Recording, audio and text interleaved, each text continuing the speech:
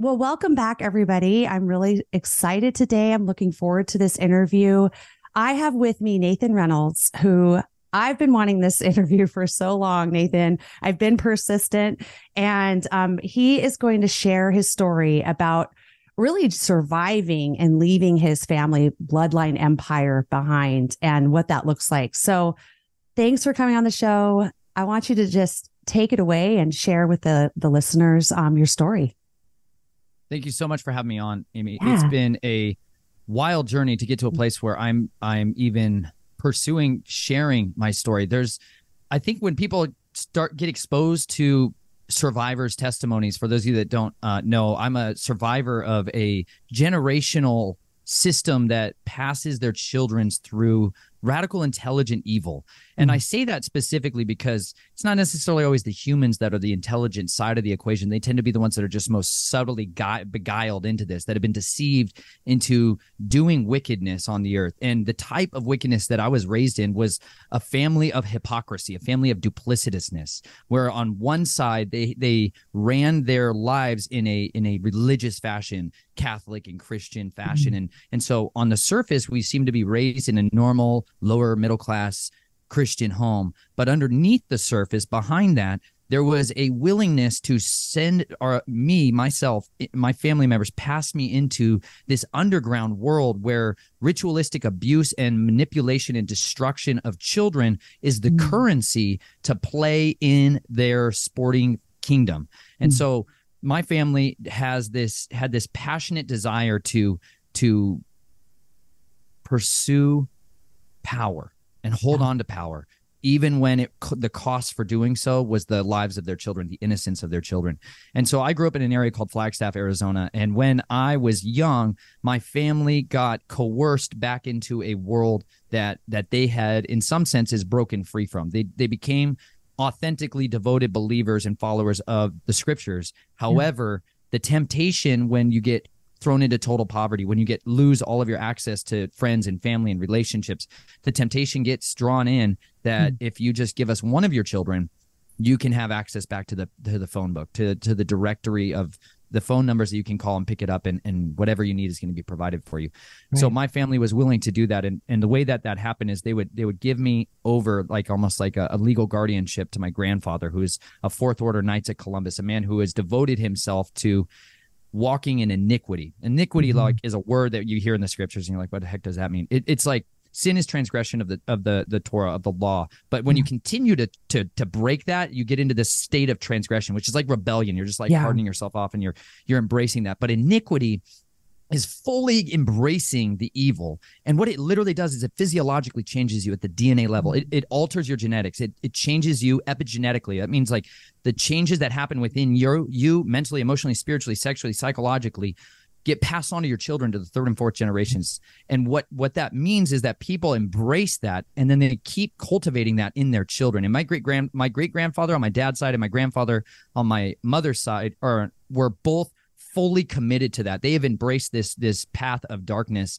and they found by by walking in this iniquity that it's like a power source that yeah. they could plug into like a battery that would fuel their empire building. And so he built an empire in a city called Lake Havasu City, Arizona, where they designed this city in the middle of the desert, place where it's like literally on the boundary zones of where Death Valley really begins in Arizona and California. It has the Colorado River coming there. And they dammed this up and they created a party city for retirees that they could have access to children on a regular basis to facilitate child sex crimes, child exploitation rings.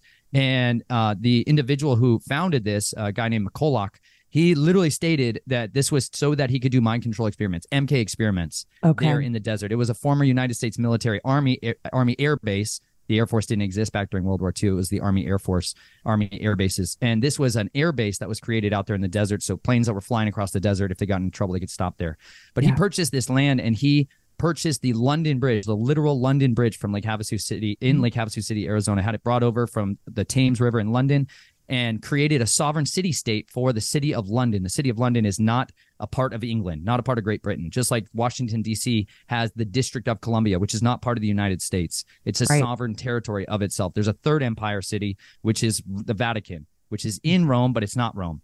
And so these are the three sovereign city states that really empires that run the world. They created a sovereign legal territory there at Lake Havasu City, Arizona, so that they could have legal re- no legal recourse whatsoever when people wanted to engage in child trafficking pedophilia incest and this abasement of children and that's why they utilized this building the london bridge where they used to entomb children sacrifice children and put them inside the walls of the building of the facade stones to hold the bridge up this is why they sing that song the London, London Bridge, Bridge is falling down, is falling down, falling down. oh down. my gosh. That's why that song, has, that nursery rhyme has been programmed into generations of people. Yeah. Because that is literally all about why we have to be willing to give our children over to the system mm-hmm. and so that we can hold up the empire.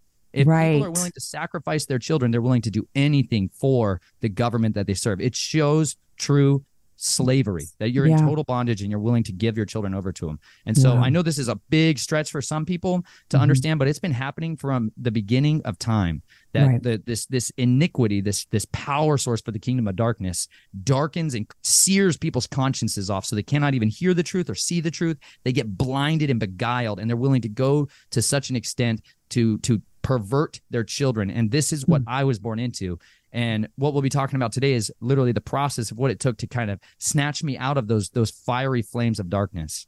Love it. Wow. Wow. I mean, such a story. Let me ask you a couple questions.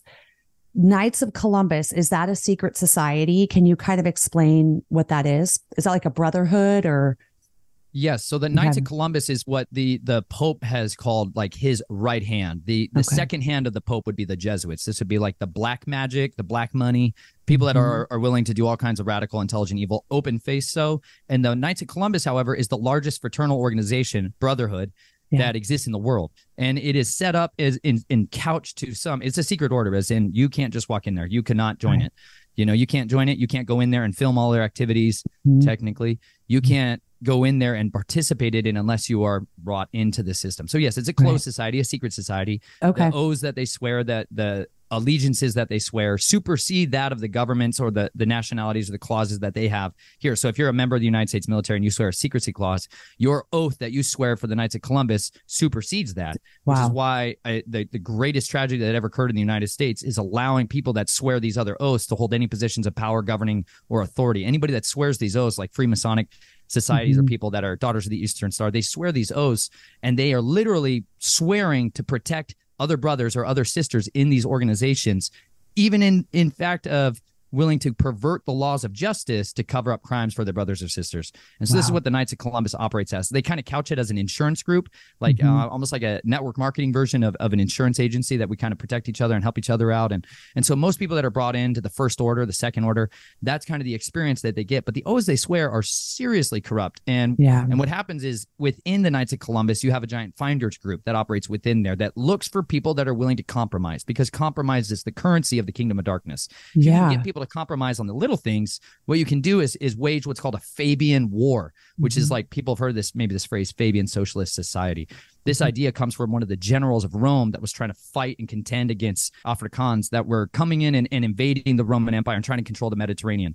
And they were losing these wars. And so they wanted some way to fight back. And this guy, Fabian, discovered that that didn't discover he utilized the tactic of a war of attrition meaning you you you don't ever engage in massive direct battle because you're going to lose. So yeah. instead he waged he destroyed supply chains. He would disrupt their little uh, communications tactics. He would come in and and destroy their army when they're in camp over here but he wouldn't ever get in that direct conflict. And he just mm. slowly picked at them you know, it's like death by a thousand cuts is a way of saying it another way that you come in and just slowly, continually harass and and wage a guerrilla war against mm-hmm. your enemy. That's a Fabian. These people, yeah. literally like the Fabian Society over in, in London, they have for their logo is the wolf in sheep's clothing.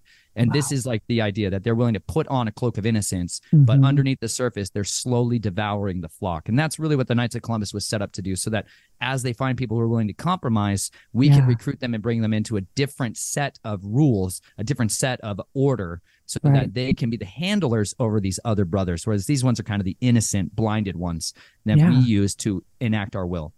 Right. Wow. And you think about it, you mentioned the finders. Is that associated with the finders cult that was exposed in government documents? Um, that was an underground pedophile ring? Or is that just what you you labeled it as? So that the Finders cult that was exposed mm-hmm. when the back in the 1960s, yeah. early 70s. Yeah. That that is an as a textbook example of the type of thing that I'm describing. But Got what it. I'm using the word finders to describe is people whose job it is. They'd be like your recruiters. If yeah. you were a corporate a corporation, you'd have your recruiters whose job it is, or headhunters, they call them in business, who go around and find people with specific talents to fill positions that are needed within the network or the family.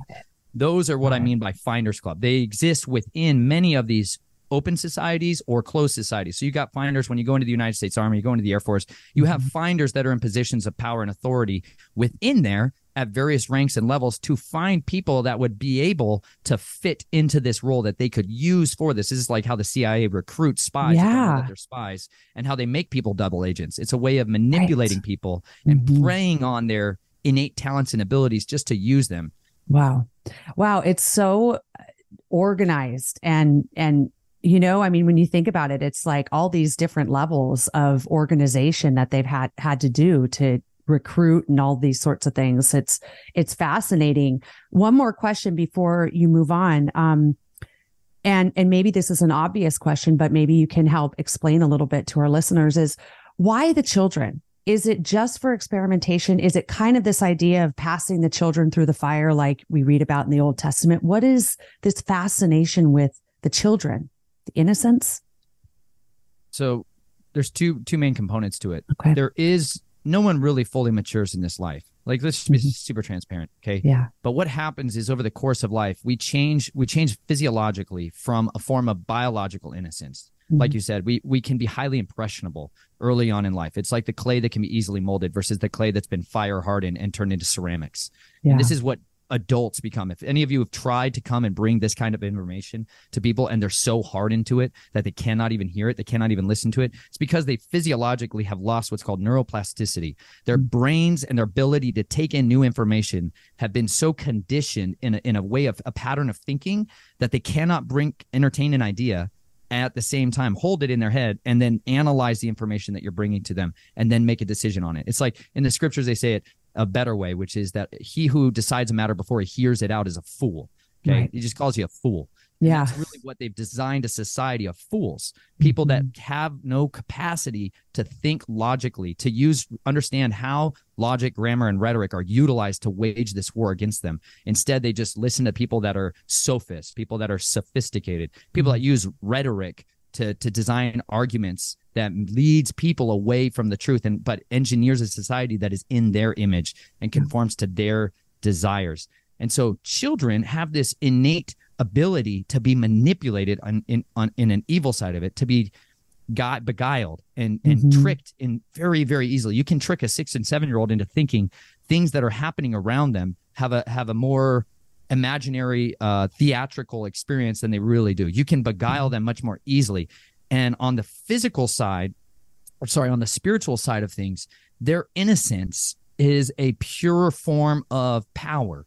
They're, they have a, a spiritual power that is much more pure if you mm-hmm. want to defile it. And this is what you see from the beginning. When when Abel's blood was spilled, when the first person's blood was spilled on the earth, it cried out forever day and hmm. night that this blood it says the earth opened its mouth to sw- receive his blood and that mm. blood cried out and every innocent blood that has ever been spilled on this earth is always crying out demanding justice mm. it cries out but requiring justice to come now the kingdom of darkness has used that that as the greatest power source like uh, one of their, their grand magicians, uh, a guy by the name of Aleister Crowley, wrote in his version of the Bible, this beastly Bible, that the yeah. purest form of sacrifice is a is a boy, blonde haired, blue eyed boy under the age of nine years old. This is the yeah. best to use and abuse in this form of mm-hmm. of bestiality. I mean, it's truly to worship this beast and yeah. get this power source from him. And so the innocence that children have is is so critical to be guarded and protected. It's the it's the antithesis. This kingdom is the antithesis of that which the chief shepherd, Yeshua or Messiah, he he has this guardianship, this desire to guard his flock that yeah. no one can snatch him out of his hand. That the Father says he can write our names in his hand and no one can take them from him.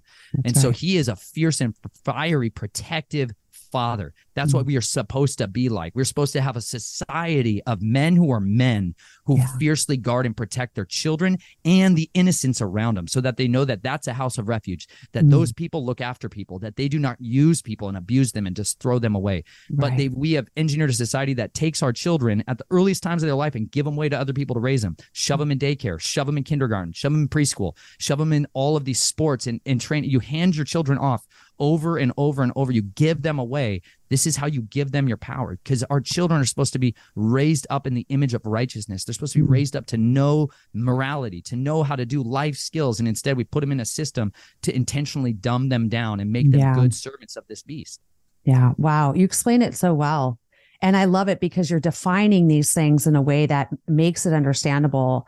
And, you know, and and it seems like what you're saying is, you know, there, there is a physical aspect to it, right? It's the blood is shed, the but there's also this spiritual aspect to it. And I think that that's a real big part of your story as well that you're going to share with us is this spiritual component of what's going on here, these familiar spirits, these principalities that are working through these people. So continue on. We want to hear more of your story. So what one of those physical properties that why children are utilized so heavily is that when they go through trauma states, when they go through experiences of very high emotional emotional highs or emotional lows, they Yeah. produce physiologically higher concentrations of things like norepinephrine and and different hormones that are that are produced in the body, secretions from the thalamus, the hypothalamus, the amygdala, that that get secreted into the bloodstream. And literally, this is what during these rituals or these trauma Mhm. states where people are abusing children or making them scared them, banging loud instruments around their ears, scaring them. When they they literally IV pick them and draw the blood, the serum out of them, or they hook it into their cerebral spinal system or their kidneys or their liver, they start to extract these physiological compounds so that they can create products. They spin these out and synthesize out of them different compounds that people use to genuinely pharmaceutically hack their way to the the guard back to the Garden of Eden. They want to drink from the cup of immortality and they Mhm. found by consuming human blood which is what it really is even if they break it down into these compounds and people don't think that's blood that they're drinking Yeah. they're using the, these these compounds from human beings so that they can stay awake a long time have better Wow. memory reverse this, the effects of aging like this is why they use human baby foreskins to create beauty Mhm. projects anti-aging creams like this isn't like some far out thing y'all Right. it's just because we lack the ability to read and comprehend what we're reading. Like the, the greatest mind control that ever got persuaded against us is to teach people how to read, but not to teach them how to understand what they're reading and use Mm. what they learn to engage others in conversations.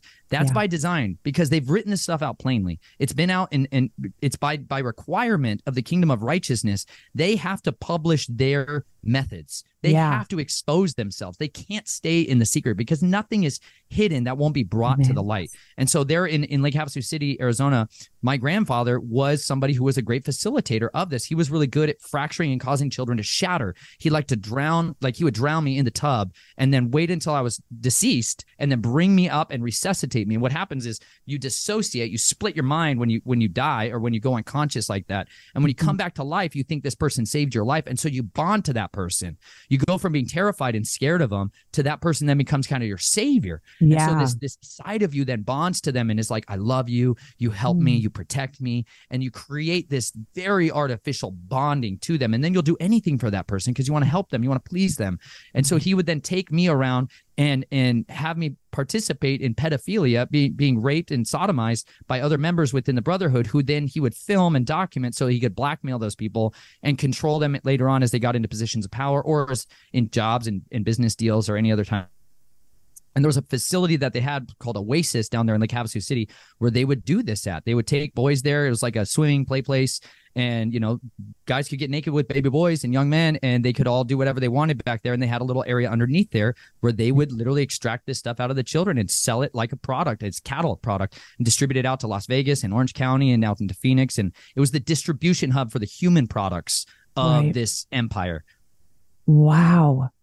That is, I mean, you're right. It's it's almost like hurts your mind to even think that this stuff is happening, but it literally is in plain sight. It's just are we do we have the eyes to see and the ears to hear, right? Like are we looking at this and critically saying, "Hey, this isn't conspiracy theory. This is really happening and you're sitting here telling us that it has happened."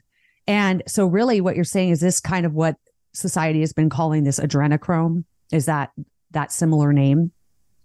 Well, people, I think it's just become kind of a popularized term to describe. Yeah. Yes, these these adrenal compounds that are being used like Okay. this. You know, some of them are more silvery, like it looks Yeah. like almost like a silvery ink that comes Yeah. out in different extracts. But yes, this is I've witnessed with my eyes people that drink these compounds and they're they it looks like they year, lose years off their life. They, their wrinkles go away. They look like the fountain of youth. Wow. And I mean, this is why the cosmetic industry exists. You know, is to beguile people into changing Mm. their physical, natural state and appearance, and to try to remove the consequences of to doing terrible things to your body and not treating yourself well, not Yeah. eating the way you're supposed to, not living the way you're supposed to. Like it literally, it says in the scripture, like when when we walk in ways that are pleasing before Him, like He makes our enemies to be at peace with us. Like when we have stress and tension and anxiety and duplicitousness in our soul, it, it literally shows up in our physical body. Our body demonstrates what's going on in the inside. Our skin is the biggest organ of our body, and so when you see this toxic exposure on people's skin, it's because that's what that is the last line of defense. It's supposed to be their first line of defense, but now their body is literally trying to get rid of it out through their very skin. And so this is like Right. trying to circumnavigate the consequences of their sin, of their curses, of their their they're reaping what they sowed and they're trying to then cover it up because now they have the power and they have the wealth and they have the control, but then they're losing their life, which is what you get from the kingdom of darkness. The enemy Mhm. is a liar and the father of lies. And so when you embrace one of what, what he gives you as what you think is truth, and then you reap at the end of it death, which is all you get in that kingdom, then they try to hold on to power as opposed to surrendering it, confessing they're cr- freed from that and going and living in a way of contrary to that and being set free. They choose to hold on to their bondage. Right. Wow. That's, I always wondered why some of these kind of politicians and royals and stuff always lived for so long. You know, you think they're like 98 years old and they're still alive, jumping out of airplanes. the heck is going on? Um, you talked about disassociation, you know, and I know in your book you call it the fade, right? And, and actually it is a, a blessing in some sense because it allows you to cope with the trauma that's going on. Um, can you share a little bit about what this fade is like when when you disassociate? Yeah, for those of you who don't know what we're talking about, dissociation is a capacity that human beings have to separate themselves from a situation that's going on. You have you have on one side of it normal dissociation, which almost everybody in the world will experience at some point in their life. When you're doing tasks that are so ordinary that you do them all the time, your brain kind of goes on autopilot. Like like there's literally something called driver dissociation where people drive down the highway and you you've driven this way back and forth to your house and back to work every time every day for many months or years. You get to a place where you can do it on autopilot. And that Yeah. autopilot system is where your body is physically doing a very complex task. Driving is super complex. Go back to the day you were first time ever sitting in a car and trying to learn how to drive. Remember mm-hmm. how much mental resources it took to try to learn how to drive and try to pay attention. But then you get mm-hmm. to a place where you've done it so long that it's literally been physically hardwired into your body to be able to Mhm. do that. People will, if, if they've ever driven home and they suddenly remember, like wake up almost in their driveway, like, wow, I wasn't really paying attention Yeah. much there. That's that's dissociation on a, a normal scale. What happens when somebody is going through severe, ongoing, perpetual trauma or experiences that are so brutal, especially before the ages of seven years old and earlier in those ages of innocence, your brain can compartmentalize, fracture itself off so that the trauma, the trauma that's happening physiologically to your body that you can't fight back against or you can't run away from, you can't engage fight or flight, so that Mhm. you instead go inside. You you Yeah. shatter internally. You separate yourself internally. Like I described it as the fade. It's Yeah. like almost you're losing consciousness. You're you're you're choosing in a sense, or you're, you're not necessarily choosing. You're you're giving up Mm. mentally being present in this moment, and you just let your body have to go through that. And when you do that, it creates something that neurologically they call them trauma pockets. It's like an area within the brain that holds that pain. This is why people that go into car accidents, their body physically went through the entire event. But last time, that a lot of times, I'll be like, the last thing I remember was starting to hit the tree, and then I woke up in the hospital. Okay, Right. even if they were awake and screaming in the car and crying out on the side of the road, they went through all these experiences. Not that they were unconscious the entire time, but their body has locked up that trauma and set it over here until you're in a time and a place where it's safe enough then you're you're no longer in that trauma state to then process it. And so they've taken us that phys- physiological gift from from the father Yeah. to help his children endure trauma, and they've they've scientifically mastered a way of using it to create mind controlled slaves people Mhm. that are willing to do things that that do things without their conscious understanding of it this is why hypnotists are brought in this is why people that that understand the power of persuasion and understand how to Mm. manipulate people are brought in to shatter the mind and then control what what comes out of it which is like an altered personality a personality that's not Yeah. the normal mindset and and way of living as the original host as the main presenting personality. So mm-hmm. dissociation becomes this weapon that's used in the kingdom of darkness to try to create undetectable mind controlled slaves people that are willing to traffic drugs traffic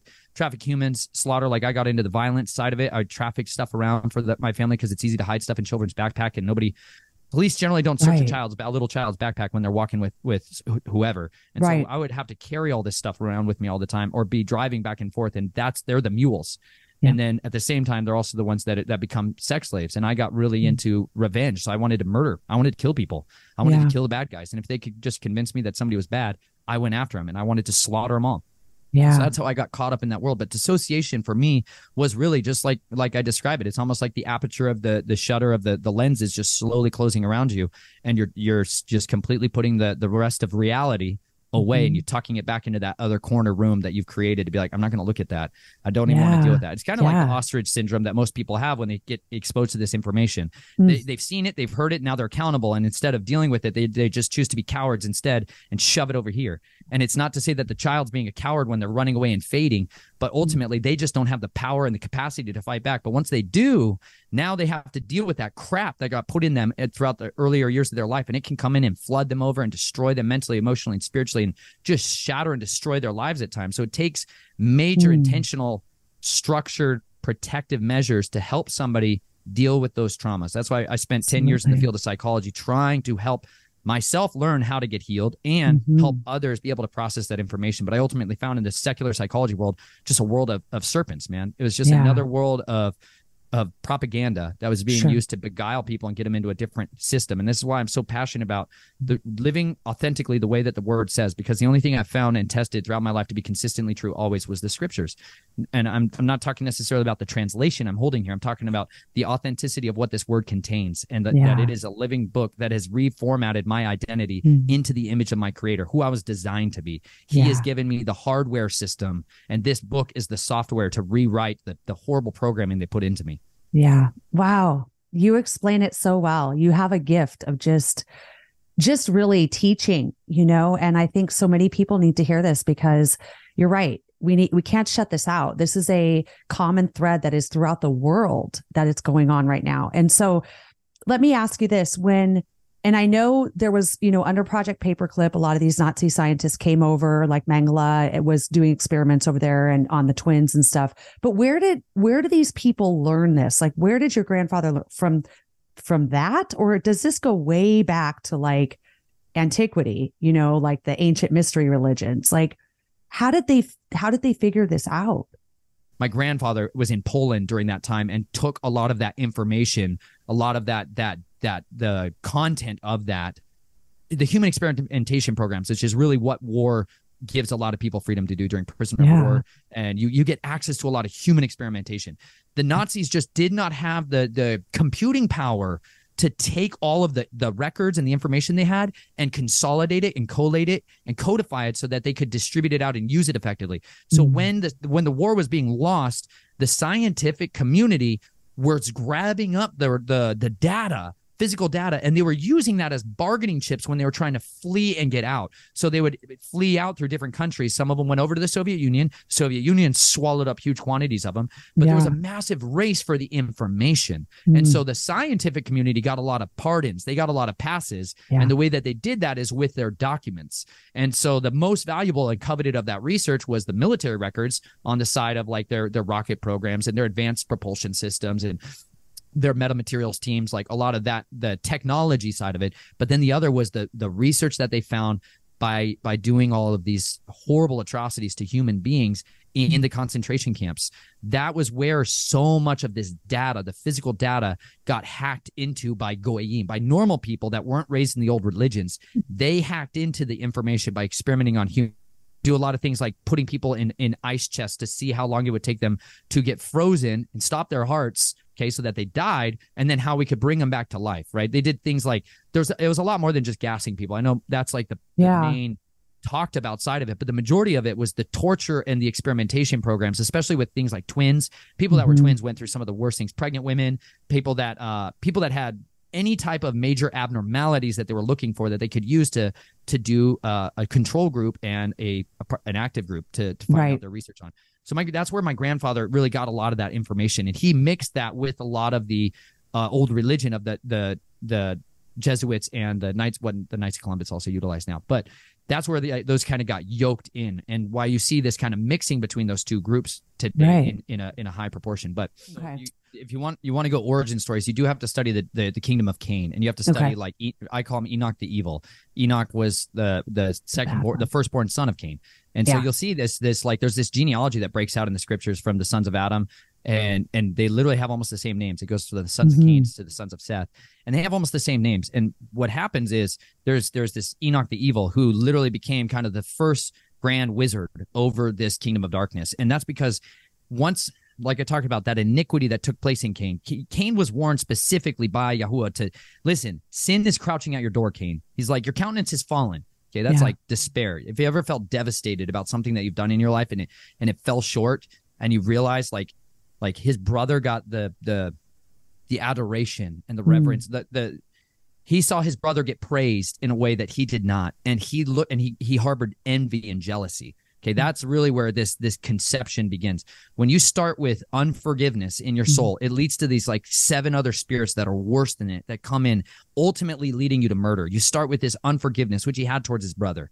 He Yeah. harbored this unforgiveness towards him that he got something he didn't get and he was unforgiving of it. Okay then he had this like jealousy and this envy and then it's just like anger that began to build up in him. And this is when you see the word of Yah came to him and was like listen sin is crouching at your door. Like its desire is to rule you Right. and like there's literally this door right here I'm sitting next to. And it's like he's like trying to explain to you that there is a 10 foot lion that weighs 800 pounds that has devoured every single thing it's ever set its predatory gaze on. It is right there on the other side of that door. It's right there. As long as you keep that door closed, it has no power to come in. But if you open the door, if you if you open the door, it will rule you Mm. devoured you. And this is what happens. Every one of us gets faced with these opportunities in our life where we have to choose do we let the devourer in, the ravager in, right? Or do we keep the door closed and do we deny it access to our lives forever? Okay. Mm. He he opened the door and he let rage and wrath come in and murder and hatred and it just consumed him and struck his brother down. He killed him and spilled the blood. And when he did that, he willfully gave himself over to this and he suffered the curse, the consequences of it. And those consequences, those curses got passed on to his children. Right. Those he chose to he didn't choose to walk in obedience to the curses in order to he said, You're going to go wander about two and four in the earth. He's like, You're going to go be a wanderer in the earth. And Mm. instead, he actually went and stopped and he made a city for his son Enoch. And that was his like an act of rebellion. Like, I'm not going to go wander. I'm not going to go spread out. I'm going to gather together power and control over people so they Right. do all the work and serve me. And this is where Enoch the evil started the mystery religions. We call it the old religion. Like, Yeah. so anytime you're dealing with these people, like one of the better books to analyze this is the Shinar Directive. Okay. This is a great breakdown of it. Dr. Michael Lake um, from Kingdom Intelligence Briefing wrote this book, The Shinar Directive. He does a fantastic job of breaking this down from a, a much more, I don't know, systemic, uh, scholarly style. He's a passionate, fiery man of, he's a ferocious man of Yah, but he's also a scholar. So he's, for all you people that need all your scholarly style of, of life, I get it. I totally understand it. I like to read their stuff. I just I'm not that guy. But he put that down in a much more uh, consistent and logical way that would help some of you that are trying to understand where did this come from? But people took this information this way of dialing the kingdom of darkness's phone numbers and being able to hack into the kingdom of darkness so that they could fuel up their kingdom and control people as Yeah. opposed to a shepherd which doesn't control the flock. A shepherd doesn't control the flock. You try to control a flock you're going to get a totally different kind of thing. You Mm. can't control them. You can try you have an illusion of control but if ever the flock really determines up in their hearts that they're like they're going to rise up and none of that they will totally de- overpower you. Like i've had i've had goats completely knock knock me on my rear end like goats can team up together and be stiff-necked and rebellious like Mm. we had i had a fence when i was uh, a shepherd that was put on backwards and so if the goats pushed on it together they would just completely collapse the fence yeah. but if one or two of them pushed on it, it was never a big deal. But sometimes there was one ringleader. His name was Gandalf, and he was totally possessed by demons. I know people are like, "What? Yeah, no. Animals can be possessed by demons. Look at the pigs and the Gadarene. yeah. They're super demonic, y'all. I love goats. At the same time, I want to kill them all because they're ridiculously creepy sometimes. And this goat would literally get the rest of the flock together, and he would go and attack the fence, and he would just get everyone to get and break out like that. And this is the flock can turn on a shepherd and do this to you. Mm. But if you're a domineering person and want to control everyone, you need a system with which to give keep them in line. And this is why this old religion works. This is why people have been consistently patterning themselves and their children into the system. And it's like why the, the divine right of kings to rule is because they have power through this information, this gnosis. This is yeah. like the all seeing eye that they're, they believe the dragon has given them the look into the future and has shown mm. them the way to, to follow this path and how they can control the power and the wealth. We can sit at the top of the pyramid and see all four sides of the pyramid, whereas everybody else that's down there can only see one side of it at any given time. But once you're at the top, you're like, oh, I get to see how everything works. And I am my own God right mm-hmm. this is mm-hmm. a, the illusion of biting into the serpent's doctrine and so right. that version that we now see today playing out comes from these mystery religions it's always been there but it was scattered at the tower of babel when he confused the languages so yeah. so much of what we're seeing today is trying to assimilate that information to get everybody back in one tribe and one tongue and one people and one mind so they can do what they tried to do there which was to literally make a war with the son of elohim they want to wage yeah. war with him and take over his kingdom because they have it in their hearts to rebel that yeah. is literally what like Nimrod is. He's like mm. the rebel, and they're trying yep. to raise him up again. And they say try to make these rituals like the scorch trials the apollo trials like this is what my grandfather and these these magicians were trying to make these their sons do is pass through these horrible tortures and so that out of them could be possessed this godhead and yeah. that they could then raise up gods in their own image wow and so there's literal demonic entities involved in this being passed down absolutely yeah. This is why the sins of a father can get passed Carry down. On. They make up all this garbage. They call it epigenetics in science, where they're like, "Yeah, alcoholism. We're looking for the gene yes. that turns this on." It's a bunch of nonsense. What they don't understand is that they've been beguiled to not even understand the basic fundamentals of how humans uh, humans are spirit, soul, and body. And if right. you don't understand the tripartite nature of man, you have no capacity to understand how these spirits are what you're dealing with. Like Absolutely. there is no such thing as epilepsy. I know that's a word we use to describe a seizure disorder, what we call it. Mm-hmm. It's very clear from the scriptures. Yeshua cast out that spirit mm-hmm. of epilepsy that through that literally that spirit wanted to throw them into fire and wanted to throw them into water, wanted to torture them, wanted to kill them, wanted to, to, to torment their parents.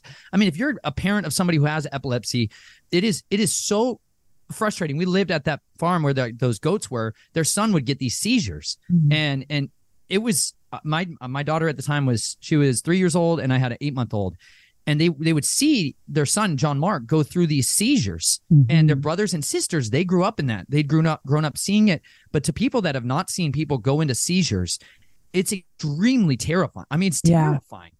It's terrifying and it mm. terrorizes people. It's it interrupts everybody's day. It interrupts everything that's going on. And sometimes there'll be two or three or four or eight or 20 a day. Mm-hmm. Like it's just it's crippling people. And what it causes is this just anguish of soul, this torment within. And this is what these spirits feed on. Yeah. They, their fuel is those negative emotions. It's that it's that fear, it's that anger, it's that rage, it's that doubt, it's that despair, it's that hopelessness, it's that lust. That is literally their food because they can't eat. It's like they're starving. It says they're the disembodied spirits of the Nephilim. The Nephilim yeah. were the the offspring of the fallen watchers, the sons of Elohim that mm-hmm. rebelled. If you read up in Genesis 6, they came down and taught men and women sorcery, divination. They taught them this ancient secrets of heaven yeah. And they beguiled them and they mixed their seed, their physiological seed in the seed of the serpent into the bloodline of mankind and raised up this offspring called giants that, right. that the Nephilim. And they were the ones who their spirit and was corrupted in heavenly spirit and a earthly spirit. And so they were not allowed to be judged the same way. So they literally were cursed to be restless spirits on the earth, mm-hmm. having hunger but unable to satisfy themselves, having thirst but being unable to quench themselves. So that's why they enact these lusts through human skin suits so right. that they can still interact and engage in this stuff, which is why when true authority shows up and binds them mm. and casts them out, there is a cessation of that. It stops and deliverance yeah. is authored. This is why Yeshua spoke a word and cast that out of something, out of a human being, and freed a family from torture, from yeah. anguish. This is why this this DSM five, this these all these mental disorders are being described. They're they're lies. They make this up so they can facilitate a model to, mm. to govern the pharmaceutical industry, to prop up an industry of death. They utilize this Bible of their diagnostic and statistic manual to try to do this. They make up these diseases so that they can control people in a totally different way. But if you authorize truth in people, if you show them that this stuff can they can have healing no matter what you're physically mm. going through, there is a spiritual root to every disease that you are encountering on the earth. I, I agree with that. I really do. And I think a lot of people in America and I know we're kind of digressing off your story, but I think this is really important that you brought this up because a lot of people in America specifically don't really understand this. They they see the extremes of what they see, you know, deliverance as, and then they they they don't comprehend it. But you go to different cultures different places around the world this is steeped in their in their culture. They get it that these demonic principalities these demons they're real. And so i love that you described all this how it's associated with big pharma pharmakia all of that stuff i mean we we negate the spiritual and we always just focus on the physical and to your point we ha- we are made of three parts and so we cannot negate these other parts of who we are and how god designed us so I love what you're saying. It's so good. I mean, I could probably talk to you for hours.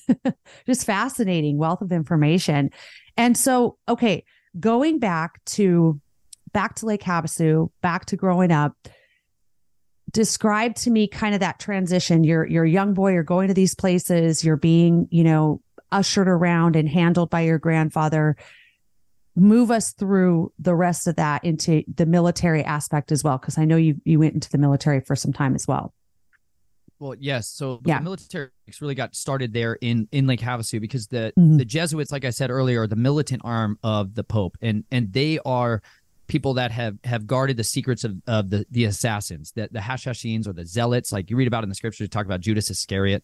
Yeah. It's Judas the zealot. That's literally the word that you get. They were assassins. There's people that that that see evil, whatever form of it. They see evil and they want to stop it physically, and Yeah. so they get trained up in the arts of death.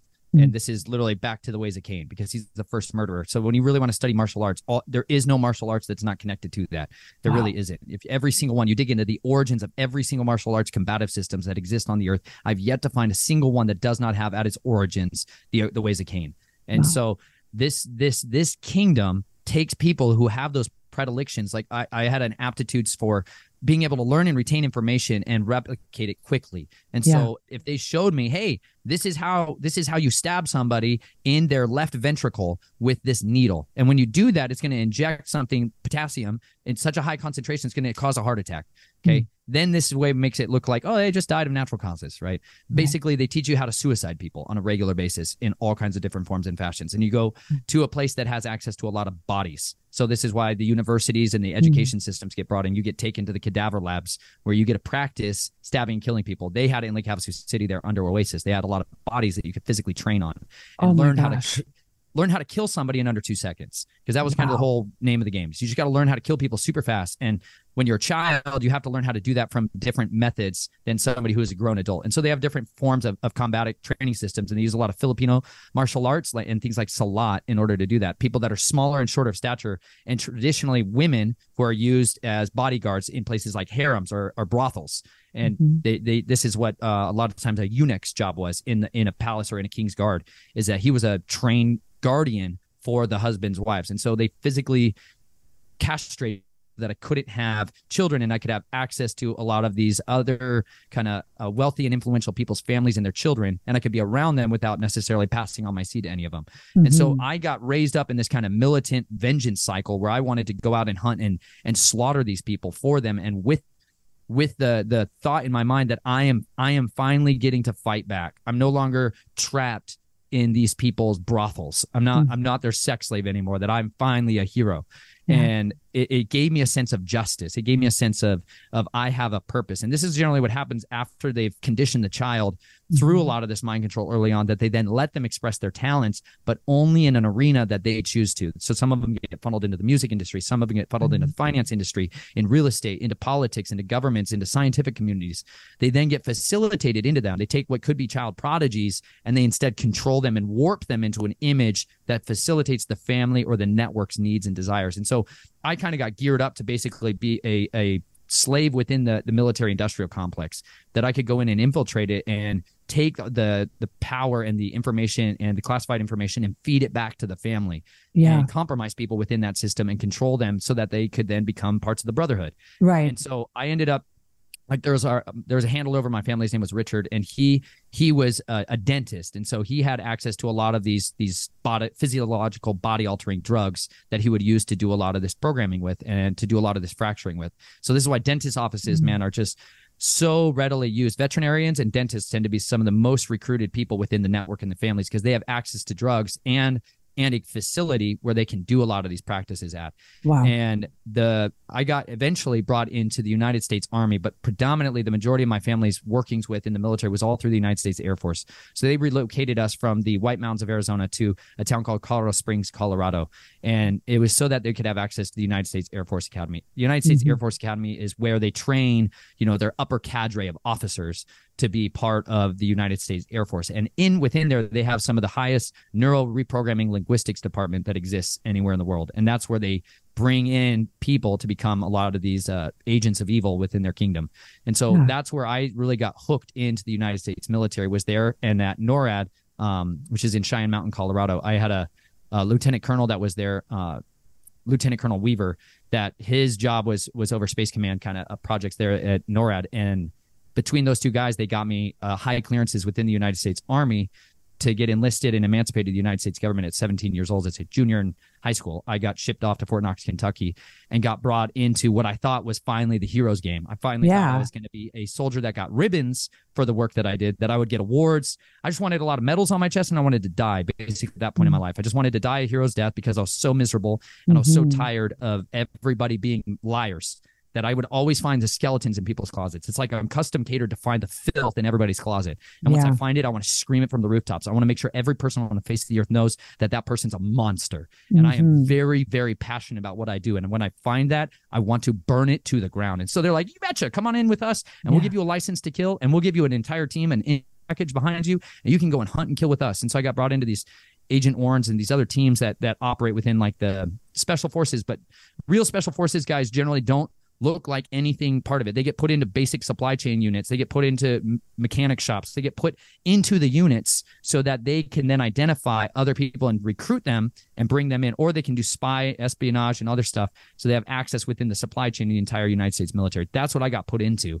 And I, I went on a rampage within that system thinking that I was finally the heroes hero, hero of heroes you know we yeah. worship our soldiers like they're gods in our society and even though they're really just they're slaves in a totally different system fighting for what they think is freedom meanwhile they're the, the literal embodiment of evil to so many millions of people billions of mm-hmm. people all over the world turn around and look at us like we're the tyrants and we're like why don't you guys understand we're here to help you we just yeah. killed a million of your civilians don't you know we're here to set you free yeah. Like, you destroyed everything. You destroyed our water, our infrastructure, our power systems, our sewage systems. You eradicated our entire country. Like, no, you're not doing that. But we get beguiled because we believe the propaganda systems that yeah. that stir that stir us up to try to go be heroes. And we're like, we're fighting the bad guys. Meanwhile, we understand that we are work, we're merchants of death. One of the best books y'all can read, if any of you have the passion or the desire to be a soldier, is um Butler, who was the highest decorated Marine in the history of the United States, a general in the, in the Marines from World War One. He literally wrote, uh, "War is a racket."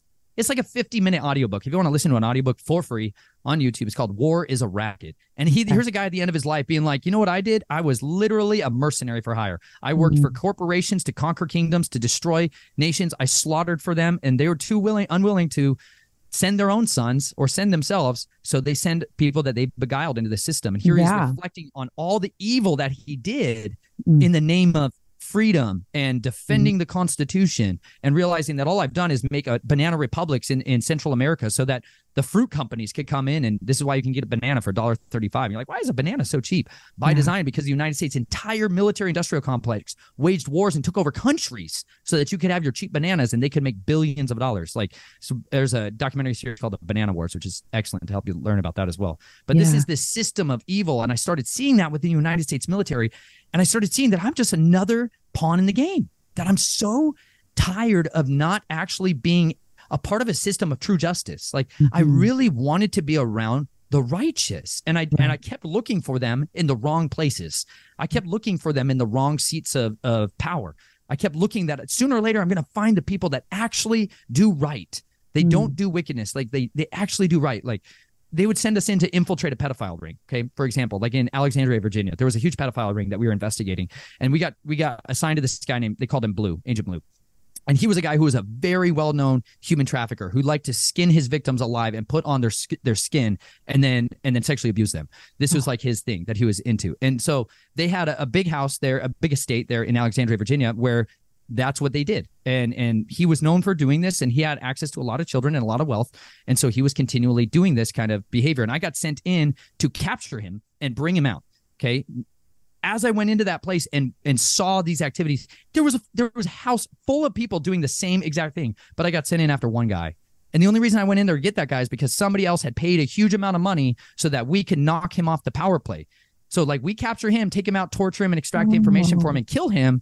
And you know what? They put their next agent into his place. Oh my so that gosh. they now have their plant within this within the the ring, and they're like, yeah, this is so that we can Right. infiltrate the next ring.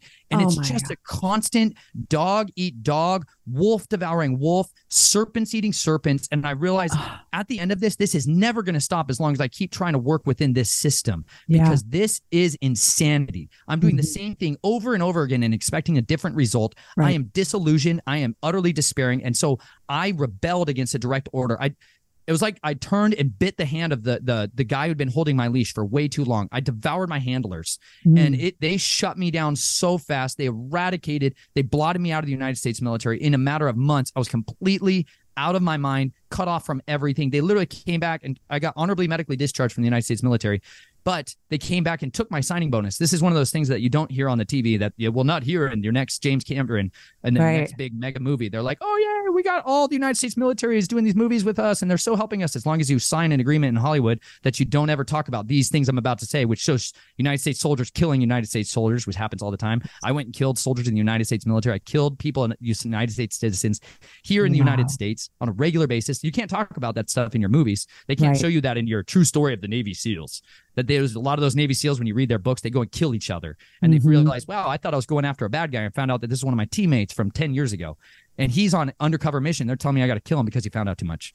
You know, you get tired of this stuff, and this is what I was just enraged in. And they literally come back if you don't fulfill your contract, and they sue you for your signing bonus. Like I had a twenty thousand dollars signing bonus for the military. They came back and took that from me when I got married. They're like, oh yeah, we're gonna come back, and you're gonna have to pay us all that money back. Like so, there's this this horrible thing. You get wounded in combat, they're gonna come back, take your money back. They, they- it's a filthy, disgusting industry, and it's by design because the kingdom that they worship, like the highest ranking award that you can get in the United States Army, in the United States military, is the Congressional Medal of Honor, which has pentagrams all over it, and the goddess of Ashtaroth, Liberty, the goddess, is on it, and it's like this, just this entire system of a free Masonic cult. There's a video on my channel which is called um, "Land of the Free and Home of the Slaves," where I talk more about it, and I show you the iconography, the symbols that they use to communicate why this country has wholly been given over to these secret societies. That really Yeah. we are enacting the the wills of this this empire of evil. And so many don't even know. Nathan, oh my gosh, this is just mind blowing to me. Um, kind of going back, I have a couple questions. So, were you essentially like a Delta? Is that what you would call it in mind control? Was like a Delta program, like assassin programming? Yeah. So the, the Okay. reason, yeah. So the word delta that she's talking about comes from the. There's different names that are ascribed to different personalities and, and profile types that are that Mhm. are programmed into to individuals. And delta is a letter in the Greek alphabet that is used to describe these the soldiers that are predominantly sleeper assassins, people that are are sneaky and they go in Yeah. and do spy and espionage craft and tradecraft like that. Mhm. we have an entire cadre of, of a special operations group that's called the Delta Forces in the United States Army, which is Yeah. uh, uh, they call an elite tier, or like an upper tier of the special forces, and these are individuals who are trained to be autonomous, basically. That that you Mhm. don't need a whole team of people to go with you, like. The Green Berets, which is a, another special forces the, of the United States Army, they have a team that they operate within. They can be autonomous, but predominantly they, they work within a team. Whereas Delta forces are are, are trained and programmed so Yeah. that they go out autonomously. They they're like the guys who they sent into Baghdad before everybody went into Baghdad that blew up their power stations, blew up their their water distillations, like blew up all of their means of, of taking care of their country. Right? Mm. They you send in two guys and they can go to Home Depot and turn a city off of seven hundred thousand people. Like this is why they really don't like these guys when they they decide no. Yeah. And they say no. This is why they Yeah. suicide them. You know, they send other guys and be like, yeah, that guy's into pedophilia. We promise. You can trust us. We're the government. Go kill him. Right. And you're like, if you don't know how to test and verify what they're telling you, and you don't know how Mhm. to learn how to say no, you're continually trapped in that system. Which is why I don't I don't facilitate with the United States military anymore because I Yeah. found that they make you swear an oath of allegiance. This is their why they're like, why are they making all the children stand up and put their hand over their heart and swear an oath over and over and over and over again, an oath of allegiance to another Elohim, another deity? Why do they swear Mm. this allegiance? Why do they require you to swear allegiance? Yeah, literally, our master said, Yeshua said, swear not by heaven and earth, but let your yes be yes and your no be no. Like I renounce every single oath and vow, and I encourage every single one of you. You want freedom from this stuff? You have to renounce those oaths. I renounce my secrecy clauses. This is why I talk about this stuff. And this is why I lost all of my benefits. I don't go to the VA. I don't get any of those. I never got my GED paid or my my college stuff paid for by the United States government. They don't pay for any of this stuff. When you come out against them and adversarial to them, man, they try to burn you down and put you on a blacklist. And they tried to kill me and destroy everything that I ever had in my life. But you know what? I believe that the Father could build me a new house, a firm foundation, that I stop laboring in vain. Because unless a man, unless Yahweh builds the house, we all labor in vain. And so yeah. I just wanted him to build me a house, to build me a life, to build me a future. Because the, the one that I was building and had been building my whole life was built on wist- on wicked, washing away sand, on a quicksand. And it mm. came down with a great crash when I was, by the time I was 18 years old, I was completely distraught, disheveled, and totally despairing over my life. I had lost all of my purpose, my identity, and I was without hope in the world. And then into that, the Father was looking at me like, do you want to remember what you studied? Because because my family started me with biblical foundations, yeah. I knew I could turn back to this thing. Like it says, raise up your children in the ways of Yah when they are young, and in, the, in their end, when they're older, they won't depart from it. And yeah. this is what I turned back to. I turned back to the truth. I was like, I want to know who I am. I want to know what my purpose is. Please show me mm. who I am and what you made me for. And this is what really launched me on the path of healing and launched me on the path of deliverance it, to a place where I finally got to come to know that I had a purpose that was beyond death, that was yeah. for life and not death. Wow. That's powerful. And it's awesome because you talk about in one of the chapters of your book, um, I think you said Deliverance in Dallas, right? And you mentioned Russ Dizdar, which I just, that book, I mean, you can't even get that book anymore, by the way. If you try to look for it, yeah, The Black Awakening, it's like, it's like $2,000 on Amazon or something crazy like that. But um, I had a question about kind of your training, though, kind of going back before we jump into the healing and the deliverance part, because I think that's so important. It's so powerful, your story. Um, but do they did did they test you? I mean, how did they know that you would be kind of adept in this skill of like martial arts, military type, killing someone in two, two you know, under two minutes? How like are these kids like yourself? Are they tested in some way? To like glean some insight into your gifts? How does that work? So anybody there's a the highest paid position in a school is the school psychologist, right? And so this is part of that finders club, like I was telling you. That's mm. why I'm mm. trying to make sure you understand it's not just one group. These are people who are trained to study and analyze the mind and the people and their their aptitudes. This is why, like, when you go into schools, they start doing these tests, right? Yeah. Like, why do they have standardized testing? And what are they actually looking for? If you ever participate, I went to a University of Colorado at Boulder, which is a research university. Their psychology department is one of the best in the world. It's like up there with the Stanford Research Psychology Department and stuff research school. And when you every freshman in every freshman in this University of Colorado is required in the psychology department is required to go and do a certain amount of hours of research, meaning other people are going to conduct research on you. You mm-hmm. go into the basements, the catacombs of that building, and you sit in these rooms and they have you look at computers and they ask you questions and they might ask you questions about the shapes of things and the triangles and you think you're taking a test that's asking you about, you know, what are the shapes of these polygons? You know, what yeah. colors do you remember? Meanwhile, the actual experiment is a totally different set of things that's going on. It's actually testing you based off of how you interacted with this person. And did you not see mm. these different stimuluses that were in the room. They were strobing these lights at different frequencies and they're trying to see whether or not that you would eat this food and do these things.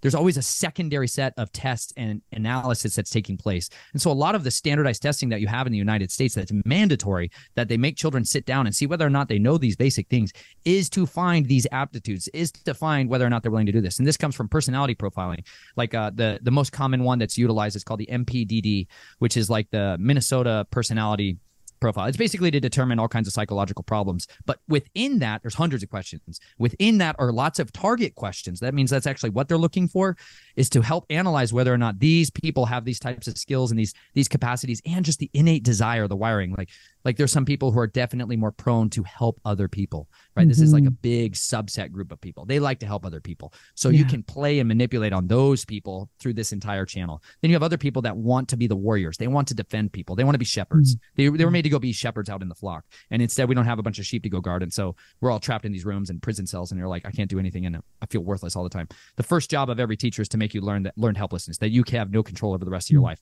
that you have no confidence you have to ask me if you want to pee if you have mm-hmm. you have to ask me if you can ask a question if you want to say something, you have to learn. Authority tells you whether or not you can or can't, right? They're, they're designed to totally manipulate children as soon as they get in that classroom.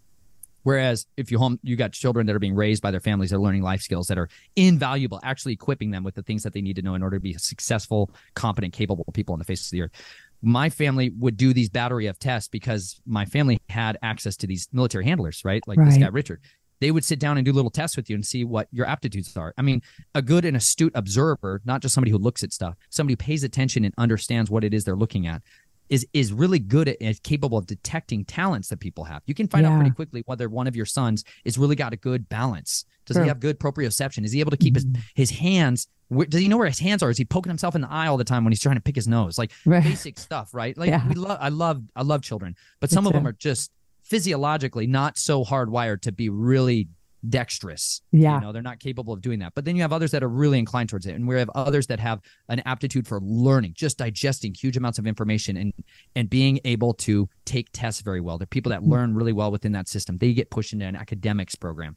You yeah. got others that get pushed into the musical program. Right. Know? And so my my aptitudes were just prevalent bent in that direction. Yeah. I, I, that I makes sense. To learn a lot of stuff, but that was one of the areas that I liked it too. So it, it was mm-hmm. like a passion. Anything I'm passionate about, I can learn. And, sure. and most people are like this when they're freed from the shackles of slavery that have been put over them. Sure. No, that makes a lot of sense. And so it's not just, would you say it's not just these I'm I'm kind of trying to understand how the the bigger picture looks too, because you see like Hollywood celebrities, you see the royals, you see politicians, etc it's not just bloodline it's also eh, you know normal people. normal people. So they're looking for anybody they can like capitalize on for their agenda essentially. we have human resources departments in businesses. Yeah. got it. call you human, human resources y'all. Yeah. That's that's what Hello. they think of you as. So it's not and you can find a resource from any of them right? This is why yeah. you get cataloged and branded right early on in your school. Mm-hmm. you get a, you get a profile where yeah. people are like this is what you are. And it's like yeah but it, it it's the beguiling of people to think that you can shove a human in a box in a profile mm. because the power of free choice is so supersedes the ability it can destroy all those vows. In a moment somebody can make a decision that changes the trajectory of the rest of their life and changes that that epigenetic that curse that should have been playing out for them and their children to the third and fourth generation gets broken by them. One choice yeah. one decision. Those of you who are trapped in the system can make one decision right now. You've been exposed to this information. You're now accountable. You can now make a decision that changes the future not just your life but the lives of thousands of people all around you because you were willing to look this in the face and now you're willing to turn and face the forces of evil that have been building this empire against you and you know what you're going to get shot to pieces and it's good for you mm-hmm. But this is mm. why you have this armor that comes from truth. If you're standing on truth, you will go on the greatest adventure ride of your life, y'all. If you st- commit yourself to speak the truth and nothing but the truth for the rest of your life and to only do what you know to be truth, you become a force of inco- incorruptibility on the earth. And which means you are the absolute adversary to the kingdom of darkness and the kingdom of liars, right? Yeah. So they set themselves against you pretty ferociously in the beginning because they try to get you back in line. Mm-hmm. It's like, why your family members, when you wake up to these things and you're studying and learning about truth, they turn around and they try to devour you. That's because they learned they were socially engineered in schools to, hey, when one of you gets out of line, everybody get them back in line. Get them back right. in line. This is they push us back into the like trying to force us back into the herd. The only way they can control us is if they recruit lots and lots and lots of other people to try to be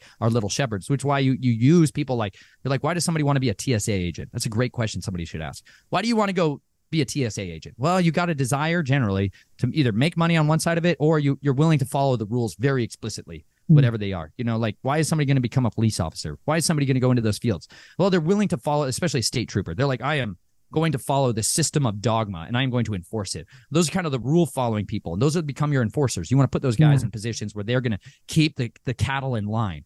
You know, right. and so they, this is where those those finder programs can find those aptitudes and then you just create and cultivate a, a, society that does that. But when you want to destroy a society like you did back in the 1970s and 80s in the inner cities like why did they turn harlem into what it was? Why did they turn these inner city areas into what they were? Well they just stopped doing trash services. Mm. you, if you just turned off in your neighborhood today all the trash services stopped right? Nobody came by and picked up your trash anymore. What's that place going to turn into real quickly yeah. Real quickly, right? A, a, literal heap of trash, right? And then if yeah. you just stop allowing the police officers, you shut down the police, defund the police stations in the area, defund the fire departments in the area, okay? And just just start to slowly pull mm. out the resources that are available. You then bring in huge, and then you bring in a huge quantities of super cheap drugs, right? Like this, the cocaine wars and the crack epidemics. They started bringing in this. If you guys don't know about Iran Contra, super important information understand like why the the Clinton Chronicles exist, why they were yeah. trafficking all these drugs out of Mena, Arkansas. Like this is the governor of Arkansas, Bill Clinton. Why the Clinton family became the Clinton Foundation that we see today, engineering a society right. in its different direction. They destroyed and eradicated lives of many, many people, and they did that so that they could completely eradicate a social structure that was strong They wanted to eradicate the, the mass that any strength of a system comes first from the, the, the men that are in that right position, right order in a family, a family unit that has a father, a mother, and children in a, in a right order in the right. home is so powerful. You hmm. cannot mm. control it the same. So you have to destroy that. You have to get the women out of the home. You have to get the men out of the home. You have to get the children out of the home. You have to create a society where everybody just gives themselves away to this system and mm. becomes slaves, which is what happened to the Israelites when they were in Egypt. It's the mm. same spiritual Egypt that we live in this we live in Egypt today. It's the same spirit behind them convincing us to go become slaves. They tried to work the Israelites so so hard that the men would not go be with their wives. They'd be too tired to go and be with their wives so that there would be no children. They were so given to their career that they wouldn't have any children. Like there's it's it's a heart-wrenching reality that they've designed the same system here. But you know what? That that spirit of Egypt, that spirit of bondage was broken when the people cried out. Mm. Like it hmm. says in Exodus 2 that Yahweh heard their cries. They groaned yeah. and cried. Like I encourage people to cry, scream out at the horrors of the bondages you have there, where they're like, you can't come to the school unless you put this genetic experimentation program inside your children. Unless right. you give us your blood, you can't come in here. Unless you let us stab you and do a ritual to you and inject gene editing software into your child, you can't come in here. And yeah. people are like, okay, I don't have any other option. You could go be homeless yeah. tomorrow, y'all. Live in the woods. It's incredibly brutal and wonderful. And it would be so much better for you than to give your children over to serpent eaters, man. Like, have some freaking piss and vinegar in your soul and be willing to resist the works of darkness. Say no. It's the most powerful two words you can ever learn mm. in your life. No, I do. Forwards. No, I do not consent. Yeah. So powerful. Absolutely breaks all of those stupid, filthy mind control that they're just constantly bombarding everyone with. Resist the devil and he will flee from you. Mm, so good. Preach. yeah, no, it's so true. I mean, that was such a mass mind control, just all of the pandemic and all of that. And, you know, I think a lot of people woke up in 2020. I think they, uh, people came to this understanding, but I think now they're continuing to kind of challenge some of these things that you're talking about, you know, that we've been conditioned to believe through the school system, through our news media, right? Um, so I wanted to ask you when you were kind of going through some of this military training, you said you were in Colorado, some of these other places. Were there, was there any time where you went into like deep underground military bases, things like that? What, what did that look like if you did? Yeah. So yeah. at the United States Air Force Academy on the backside of the, they're basically, they, they call it the Front Range of Colorado. This is a real basic geography lesson for you the Front Range of Colorado is the beginning of the Rocky Mountains. Okay. And this is where all of the cities, I think about 85% of all the population in Colorado lives on the Front Range, meaning in front of the mountains. People don't live in the mountains almost at all because they die there. Like it's an yeah. incredibly hostile place to live. Uh, over over 8,000 feet, 10,000 feet, 12,000 feet, 14,000 feet. It's a brutal place to live. So people think of Colorado, they think of the mountains, which is kind of just a good propaganda piece. Half of Colorado is just Kansas. Like mm. it literally is just Kansas, wow. just like yeah. Kansas. And so what they've done though is because because it sits at the heart of our country, Denver is literally what has been designed and chosen the front range there is chosen as the capital of the new world order. And that's going to be like a big pill for some of y'all to swallow but it's a reality. Like yeah. that is literally where they've centered the the military industrial complex has centered itself there. The political center is they've relocated the defense intelligence agency headquarters there the cia headquarters there like the space command there. They're, they've concentrated all these forms of power back especially in the early 2000s but but it got really started in the 1940s and 50s during the cold war and they started digging out bunkers massive bunker systems like cheyenne mountain which was is now publicly everyone knows as this deep underground military base. They carved yeah. out a giant granite mountain, Cheyenne Mountain, which is right there at the at Colorado Springs. It's in southern portion of Colorado Springs, and you can see it from the you can see it from the city. But the, what they do there is they camouflage the doors. They camouflage the entrances to look like uh, big big facades of boulders. They literally make giant boulders that look like the doors. And so in the United States Air, Air, Force Academy and all there's five other military bases there: Fort Carson, Colorado, Schriever Air Force Base, Peterson Air Force Base. Predominantly, the Air Force dominates that area, but it's literally a hub for the military complexes right there that surrounds Colorado Springs. And they've tunneled through there to create a continuity of government system. So if you want to look up the continuity of government, what you'll find out is that the United States has plans and protocols in place so that if we are ever in a major ongoing war, like with Russia or Soviet mm-hmm. Union at the mm-hmm. time, or China or any of our other whoever they want to play as the big bag boogeyman out there that we got to fight. Oh, save us all from these bad guys. Whenever they want to stir that and foment that pop and and, and release the dogs, the hounds of war, they they've created an entire underground system in this country all across this country all the way up from the the the upper echelons of alaska all the way down into the pacific northwest into the southern portions of the country. There's places where the governing officials for that area and the military officials for those areas are able to go underground to survive nuclear war predominantly. Yeah This is what it was really built for. And so they the, a lot of the infrastructure was built back in the 40s, 50s, and 60s when there was a huge amount of money that was being funneled into the military industrial complex so that they could keep entire cities active under underneath our feet. Factories, warehouses, supply chains, water, food, infrastructure, uh, hardware, software, like entire cities live underneath our feet. People that work there 24 seven. A lot of this got also brought in with the, with the industrial or the, the scientific community through particle accelerators, like the Large Hadron Collider. People mm. talk about that over in Switzerland. There's thousands yeah. of them here in the United States, thousands of particle accelerators and atom smashers and uh, here in the United States and have been for a long time. Like the largest one that was ever being built was in Texas and like 28 miles, just massive facilities built in Texas. And they're all over the place. And people just, this is kind of stuff that just well the propaganda that everyone points at is the big scary stuff over in Switzerland. Look out for yeah. that stuff in Geneva. Oh yeah, that's y'all. There are so many here in the United States, in from Manhattan to Chicago and Stanford research laboratories. They've been using this stuff in in Oak Ridge, Oak Ridge, uh, Tennessee, like where they did the Manhattan Project. They've been using this kind of military scientific community to build other underground cities so that we could have the scientific power and the military power to fight this war with the the gods that are going to contend against us. If that's the Soviets or it's the you know the invaders that they're trying to get everybody hopped up on right now. And they're like, oh yeah, look out for the aliens. They're going to come and get us. You right. know, like they always got their little bad boogeymans and their PR campaigns to try to foment everyone for the the dogs war. But the the truth is that the United States Air Force Academy, there is a massive underground tunnel network in order to survive nuclear war with the Soviets. And so I got brought into one of those bunkers in particular on the backside of Rampart Range Road is literally just a big giant boulder and you can pull it open with one hand and it swivels open and there's just tunnels. It looks like a normal build, building. If you have ever been into a United States military building, the majority of the infrastructure was built in the 50s. So it's just like white linoleum floors and white paint everywhere. Yeah. And so yeah. if you're inside these buildings, you don't even know. Oftentimes, if you you go into work at a regular portion of on the surface of a building and you go into your office building further down or you drive get in a vehicle and you get transported in, you don't know that you're underground more often than not because really? it's just a continuity of the system. And so yeah. you might be driving back and forth between different buildings underground, but it's not, it doesn't appear to be that way. It doesn't feel like a cave. It just feels like you're in buildings all the time. So it kind of, I think in people's heads, they think it always looks like these be big caverns and big caves with stalactites yeah. and,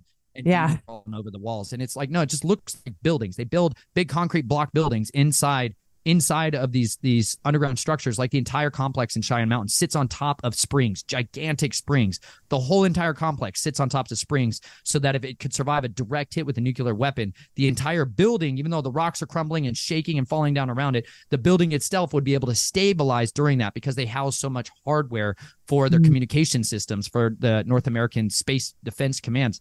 Anything that goes into the air they track it there. So it's really sensitive electronics there. They don't want that stuff getting shaken apart. So Wow. That's out there in Cheyenne Mountain. And I, I was part of programs that were there at the Air Force Academy and then one briefly at Fort Carson, Colorado, that connected to an area called Black Forest, which is north of Colorado Springs, outside of a town called Monument. And there was an entire tunnel system that you could go from Schriever Air Force Base to Peterson and you could go to the Air Force Academy and you can drive the entire distances on without ever having to go to the surface. And that was so that they could survive these these battles and these wars that they thought sure. they were going to be fighting.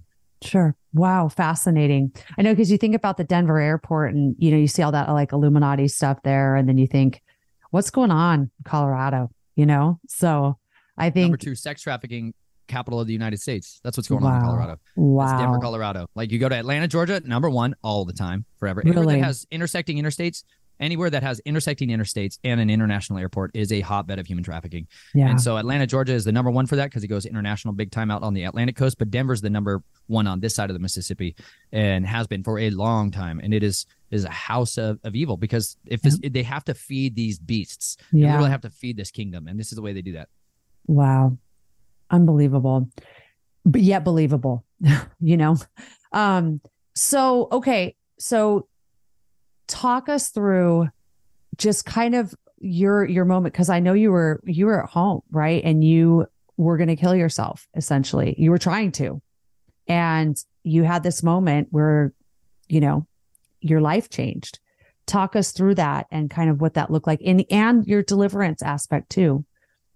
So, when I was uh after I basically had that uh no go order with the United States military. I left my advanced training in Fort Lee, Virginia, and they started putting me on a uh, uh, reprogramming protocols. So they they they diagnosed me with these minor and multiple traumatic brain injuries, MTBIs, yeah. minor traumatic brain injuries, and then t- traumatic brain injuries. People kept bashing my head in trying to kill me, and I and I started coming unglued. Let's just put it super nicely.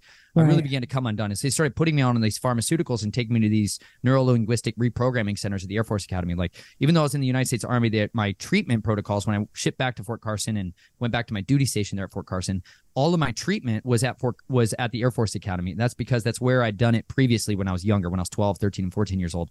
That's where I'd done a lot of it. And so they sent me back there to try to get me back online. And the mm. way they hmm. do that, y'all, is is the way they like when they want to get rid of somebody in the United States military after they're like used up, they put them on a lot of pharmaceuticals, mind altering drugs in order to get them to kill themselves. So this is why like why Prozac is the number one link we find with people that commit homicidal suicidal acts. Prozac. It's just super concentrated amounts of hydrofluorosilicic acid, fluoride, like what they dump in a bunch of people's drinking water. The municipalities mm-hmm. in the United States dump in our drinking water, try to keep us dumbed down and dulled. Well, when certain people take that stuff, it makes them very homicidal and suicidal, especially when they're under distress, right? They're mm-hmm. having a hard, hard day, hard life situations. A lot of them go and kill themselves, so they hurt others. And so they start pumping, they started pumping a lot of those drugs into me, like Provigil was, or um, pro- propanol, which is like they use for seizure medications, stuff like that, yeah. and uh, Ambien and and uh, these these like other these drugs that really made me completely come disconnected from reality. Like whereas the old religion people they used like satanic rituals, right? They do these like trauma and these abuse stuff. Yeah.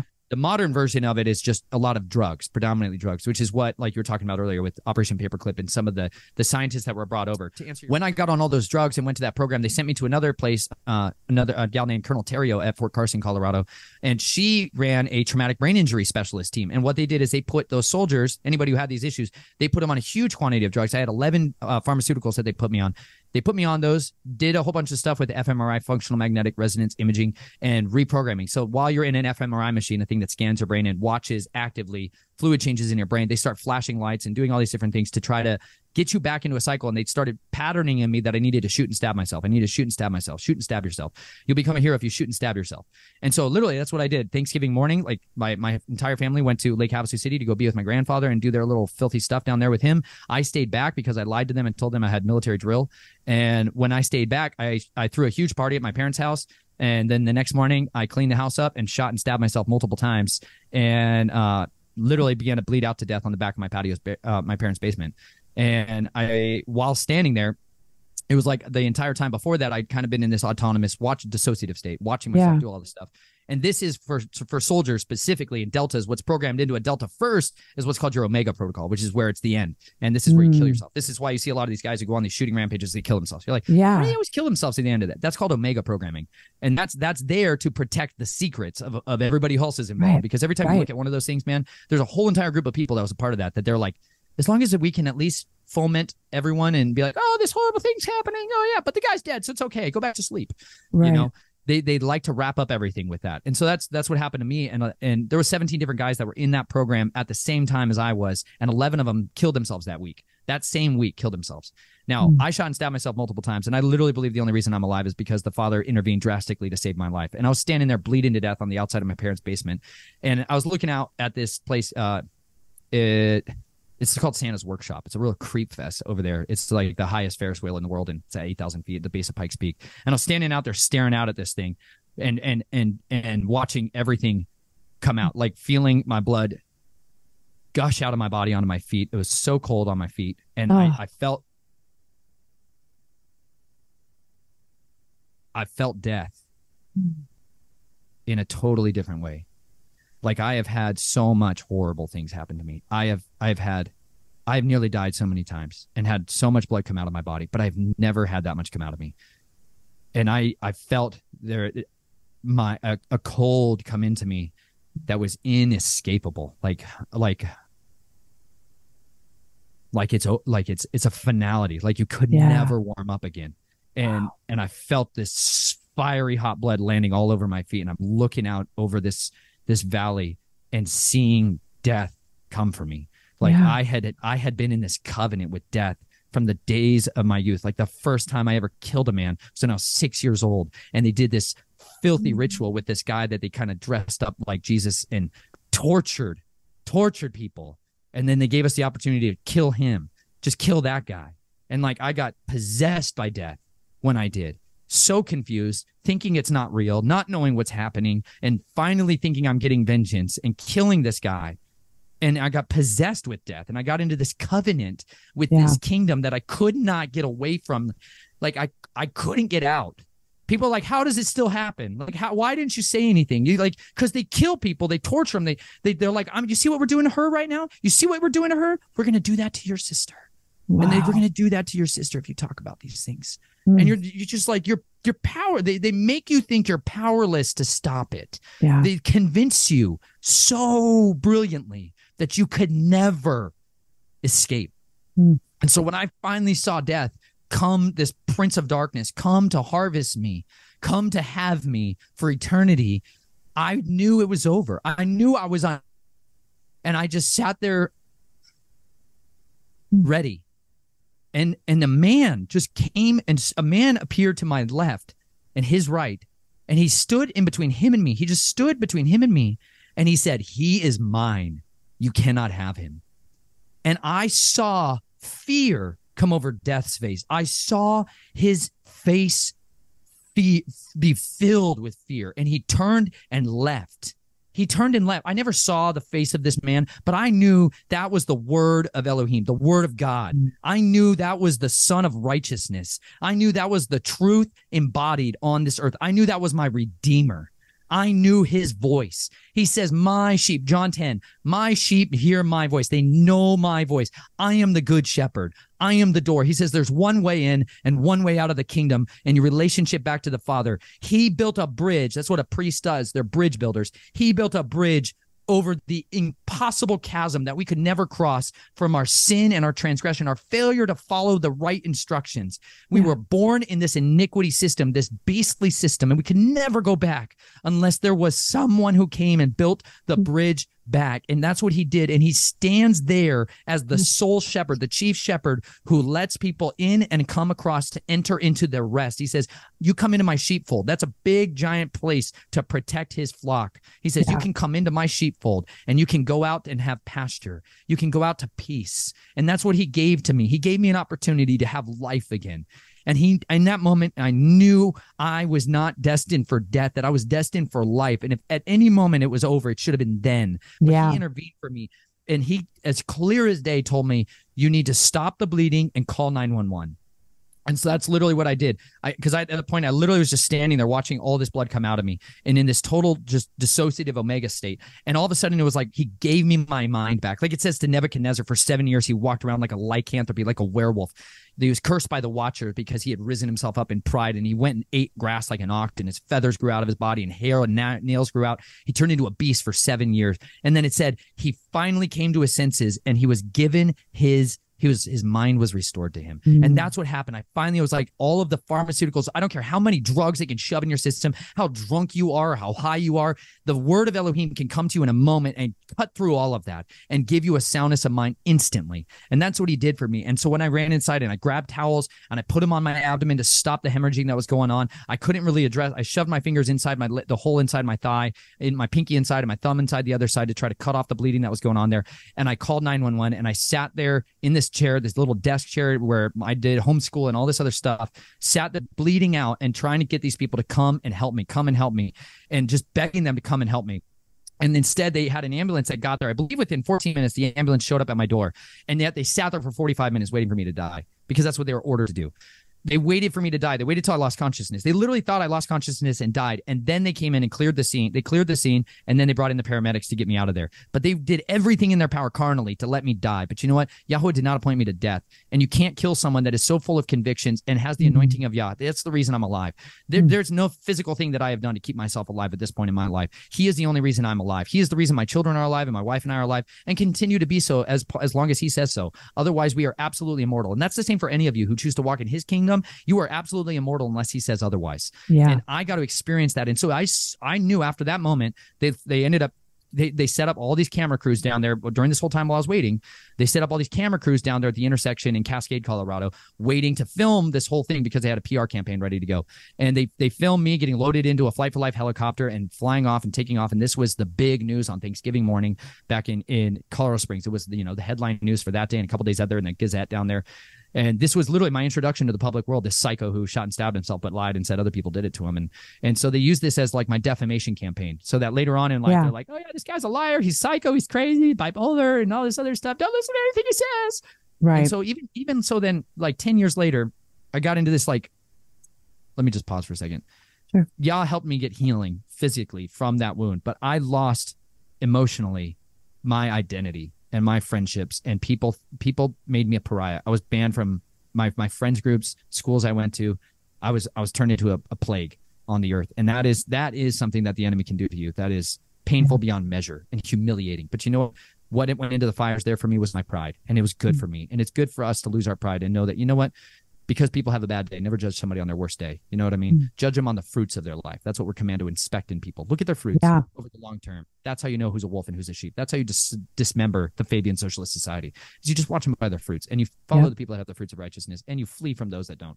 Yep. You know, but that's that was really where a lot of this started. They tried to put me on a whole bunch more of drugs and and, and medication. There's a, a center there in Boulder, Colorado, at the University of Colorado called the Sutherland Institute, which is for families of these really rich and elite people to shove their children in to get reprogrammed and brought back in and keep them in line. And they have a bunch of handlers there that that work. Yeah. The Southern Sutherland Institute, and that's where they would keep tabs on me and try to keep me on drugs. But I would I stopped taking all the pharmaceuticals, and it was like my mind came back to me Mm. and I finally was like free to think. Like I was finally free to think. My hair stopped falling out. I stopped having tachycardia. I wake up with my chest bruised. Like they were trying to kill me for so long, but I finally stopped all of that. And I was like, I'm going to believe the scripture is true and that you can heal me and nothing else can. And that was when he started to really rebuild my identity, really restore me. And this is where ultimately, about 10 months later, I ended up meeting the gal who would become my wife, Chelsea, who brought to me an embodiment of love and of and of compassion and and care that I needed in order to actually get to a place where I was safe enough to process lifetimes of trauma. Wow, that is amazing. I mean, just that was so powerful. I mean, you guys can't see me, but my eyes are like tearing up. And I mean, just hearing how God delivered you um, and how he just came in that moment. And you said you you noticed there was a man there, but you didn't see his face, but you felt the presence of who he was. Right. So yeah, yeah. Wow. So then did your family, I mean, do you have any contact with your family anymore? Or is that just completely shut off? So it was uh I still had contact with my family up until that point in my life. Yeah. My dad was still somebody that I was like close friends with. Now, I, I want to be clear because sometimes when I, I reference my family, people all, um, awesome, often assume I'm talking about just like my mom and dad and and my sisters. But I'm talking about Yeah. the, the people that that were chronically my abusers and perpetrators and stuff like that were were my grandfather and my great grandfather. Those Okay. were the majority of the people that were really my family that were part of this system in a very Yeah. serious way. Now, my father, my father abdicated his responsibility and allowed his son to get passed into this stuff and, Yeah. and turned a blind eye to it and, and handled us in totally different ways, but not not like primary abuser style. If Yeah. that makes sense. Because Yeah, that sure does. That's clear because sometimes that gets Thank you. lost in the mix. And um, so I, but on the surface, I still had these relationships with with my biological family members or my family members for what it's worth. And um, and I, I ended up getting married to Chelsea and as far as she knew me, I was a much more happy and pleasant and, and upbeat and happy Christian kind of guy and psychology Yeah. and all this stuff. And then halfway into our marriage, my dad moved into our house with us because he said, you know, our they've fallen on bad times and stuff like that, and he needed help looking for a house, and he was going to be working at this job, a critical infrastructure person. My dad's a controller of of massive amounts of pe- the uh, natural gas industry in uh, in North America. Uh, one of the one of a few people who controls huge quantities of natural gas and where it flows to to create electricity for the United States. This is where they put a lot of mind control people. Anyways, he had a job there in in Colorado, um, in an area called Golden that he needed to be at, and so he's like, "Oh, just let me stay there in your extra room in your basement." But when he did that, he started working with my mind again to try to get me back into these projects and and to turn me back in to be a profiteering agent for the family Yeah.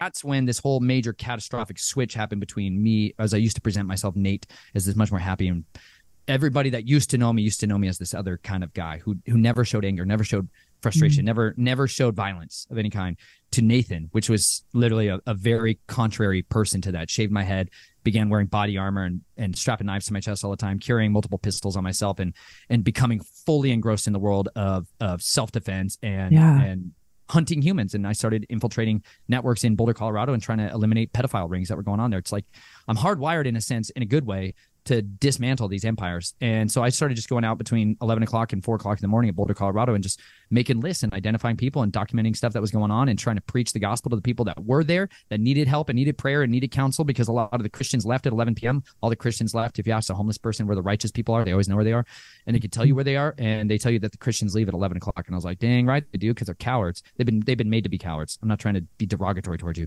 but if you don't actually know your identity from the beginning to the end, you get lost yeah. in a kingdom of cowardice. And unfortunately, that's what we have in the sissified pastors that stand on the stage and mm. tell you a bunch of psychological pep talk and don't preach from this book like it actually matters, like their lives depend on it, like they're going to die if they don't listen to these words.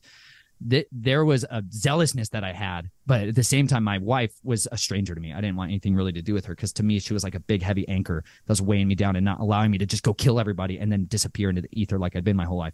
And right. so it created this horrible mutual animosity. Went from a really uh, I mean, a marriage that we loved each other to a marriage that where we just basically were strangers passing in the night. And a lot of that began to break down. However, in the same time, I began to study and explain to her a lot of this stuff that had happened not yeah. the mechanics of what happened to me, but how this kingdom of darkness operates, how Satan infiltrates the church, how we started going and hearing Russ Dizdar, like you mentioned again. We started going to these conferences where Russ Dizdar was speaking, a guy who had that book, Black Awakening, which was the rise of the satanic super soldier. And he has a, on his website, you can listen to him give a whole entire dissertation about the entire book, chapter by chapter. It's called the blackawakening.com. And he has a playlist there, lots of playlists. Russ has more audio content than I can even start to get you guys around. If you go to shatterthedarkness.net, shatterthedarkness.net. He has thousands of hours of audio training courses that he's done, like Satanism 101. Excellent. Yeah. Freedom Encounters. He's got Thank so you. much information there to share with y'all.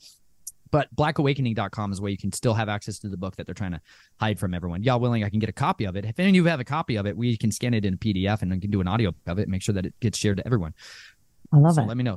Send me an email at snatchfromtheflames at protonmail.com and we will get that going. But Nice. It was at that time in my life where I still had some contact with my family, but a lot less common. And I really began to expose to my wife the innermost portion of who I was. I began to reveal to her a lot of the horrible things that happened to me. And she didn't turn away from me. She didn't she didn't abandon me and she had this this deep love for me and she harbored me from the storms of chaos that had been raging for so long in my life and she created for me a shelter of love even though she didn't necessarily understand everything even though she didn't she couldn't relate like yeah. the truth is, y'all, as much as you guys want to to understand what happens to people that go through this stuff, there's not a day in your life you can ever understand it. I don't mm. care how much you want to, how many videos you watch about it, how much you hear about it. You can't know for a single second what it feels like to be utterly powerless to people that are stealing your innocence day and night and day and night to learn what it feels like to have somebody physically take from you everything that you ever held as something that was dear. Until you experience it, you cannot comprehend it. Like parents who watch their children slowly suffer and die from diseases for months or years, they start to get an understanding of just how much anguish a human being can endure, how much mm. suffering can somebody contain within their body, within their soul, and keep on going. And you know what? My wife be, and began to understand that, and it it it it made her a totally different woman. It made her willing to wade into a muck and a filth that was so disgusting, so horrible that it was going to contaminate her. There was no way about it. Like when I shared this with her, she was going to become filthy with me. She mm-hmm. climbed down into that disgusting, abominable place with me in my soul, and she held on to me while I wrenched my soul out of it. While I up nightmares that had happened to me Well, I vomited out the violence, the rage, and the evil. And I showed her who I was. Yeah. And she stuck with me and she let her white robe the, the her white wedding dress get so filthy and you know what mm-hmm. she stayed with me and she waded into it and began to help me clean up this horrible filth and washed me with the water of the word. She restored to me, she helped to restore to me my purpose because mm. she didn't leave me. It didn't yeah. it didn't mean she was like my wife's not necessarily like a master counselor or anything like that. But if you have a husband or a wife, they should be your counselor. You mm. should be the most trusted associate on the earth, should be your spouse. You shouldn't have to pay a counselor to get help. You should be able to have that relationship with your spouse so that you can have that. That's why we have each other, because you know what? Marriage is crazy it's mm. crazy. It's awesome and it's insane all at the same time. It's great and it's horrible. It's beautiful and it's violent. All it's great stuff. Because it tears apart that former person that you used to be because you used to be one man or one woman and now you're not. You're not your own and you you choose to become one with each other. That means how i choose to use my body is how i choose to use hers. How she chooses to use her body is how she chooses to use mine. Like we become interconnected which means mm. all of that bondage from my past as long as it didn't get cleansed was going to be on her. Mm. and i wanted her to be free from it. I wanted our children naomi who she was pregnant with at the time when i told her all this stuff i wanted her to be free from this. I didn't want naomi to know this world I didn't yeah. want this to be her. I didn't want her to wake up with blood coming all out of her body from people violating her. You know what I mean? I yeah. didn't want my daughter to suffer the touch of molesters. Like it should be that way for parents. Like that should right. be a basic thing. However, disgustingly so, I find everywhere I go in ministries and communities all over this country, parents and people who cover up molestation and sex crimes mm-hmm. everywhere. They let their children get devoured all over the place. Everywhere I go without fail, I find their filthy, disgusting matters. I can smell it. I was like my whole life I've known the stink of sickness and I can mm. find it in these people everywhere I go. I can smell the Sodom, Sodom burning with sulfur. That's literally that's why I have this chunk of sulfur. My whole life I've carried this little chunk of sulfur around. I got this in uh, Silverton, Colorado when I was like 7 years old and I know the stench of sulfur because you mm. know what? When you light this on fire, it burns as blue as this shirt I'm wearing. And there is wow. nothing so indistinguishable about the smell of sulfur when it burns. And this is what I smell with this filth everywhere. And I know the beauty of it. Yahweh says he's going to rain down sulfur on these people and it purifies. When you light this stuff on fire and throw it on top of parasites, they burn to ash. No mm. parasite survives that stuff.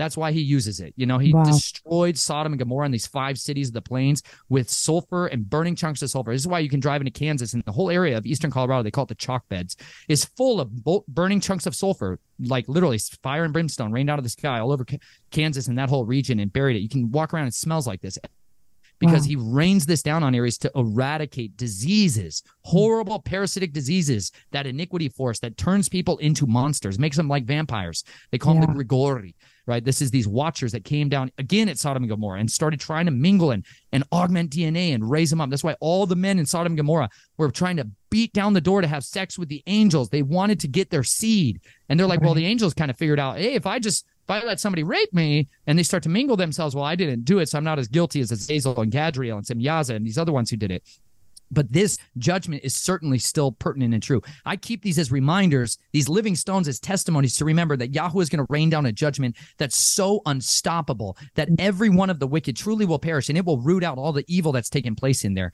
And I choose now to confess my sins and share all of this stuff now so that I can have total freedom from it. I want freedom from it. I want my children to be free from it. I confess my sins so that I can be healed. And any of you who have any sins of your past like this, the way out, the way across that that bridge is confession of your sins. And I know that's so churchianity feeling, and you might be shutting down because you think I'm talking about preaching to you. You got to understand this is why this is the literal cure to the cancer that's corrupting your soul, the one that makes you so miserable and feel like you have no purpose and no identity, and why you you're so discontent the cure for that discontentment is confession. You don't got to tell me. You don't got to go and preach, scream it out to everybody on the face of the earth. But I tell you this you have the duty to confess these things that are killing you mm-hmm. to get them out of you. When you get them out of you, everything that's hidden, that's been bound up in there, all that filth that's poisoning you, that black tar will come out of you. And you know what? You can get washed. You come in and you wash yourself with the water of the word. Like read it from beginning to end. Just I challenge you one time. That's why I did an entire audio recording of the scriptures from Genesis to Revelation and gave that to people so that they could hear the word being preached because because they need to know that if this they can't have any faith unless they hear the word. It says hearing, belief comes from hearing, and hearing comes from the word of Elohim. And like if you wash yourself in that, it's literally like somebody coming in and just cleansing the entire space, every filthy corner of that place, so that you can have a mm-hmm. clean area. Like this is a nice clean room.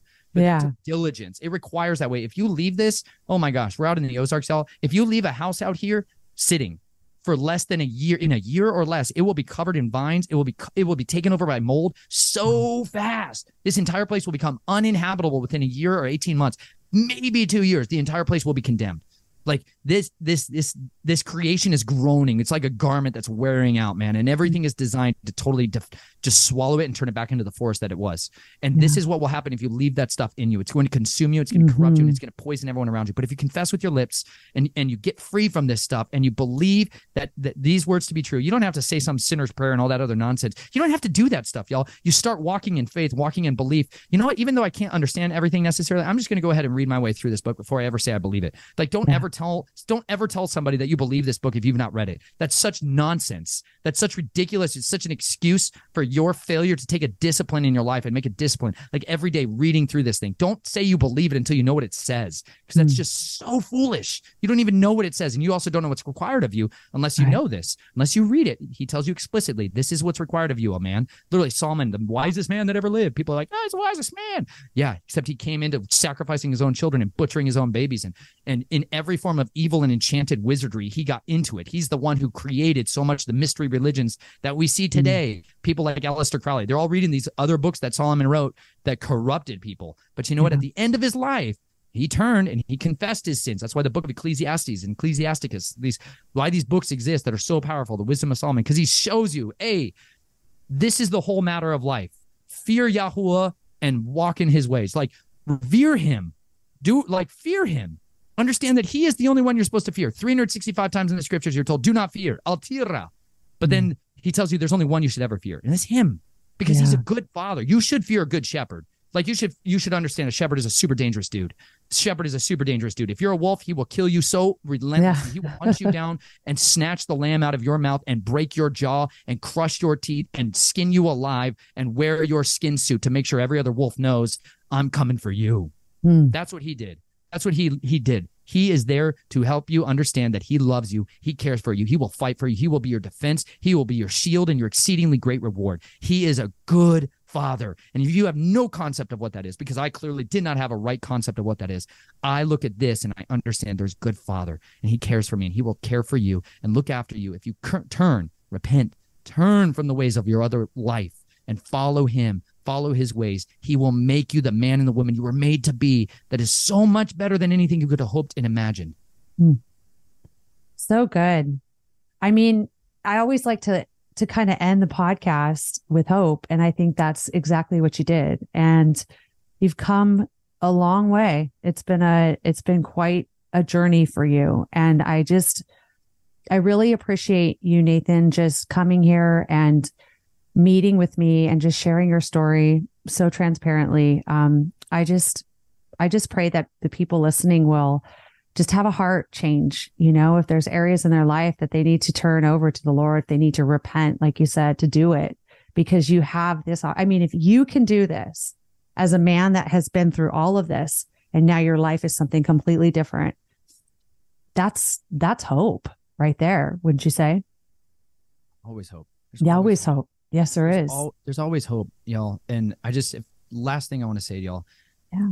No matter if you're the perpetrator of this or you're the victim of this, and you're both, there, this there is so much freedom that is that you you cannot even know because if you've lived your life in slavery, you've never tasted choice. You've never even known how sweet of a savor it can be when you have a day that's yours when you have your own time back when you have your mind back when you when you get your body back it it is so rewarding it's better than any amount of power that you have could ever offer you there is an illusion that has been placed over so many of us that if i just had that i would be satisfied but you know mm-hmm. what the mm-hmm. true greatest gift that we could ever be given in all of life is contentment in all circumstances. And that is what I want for you all to experience that you can be content in your circumstances, no matter what they are.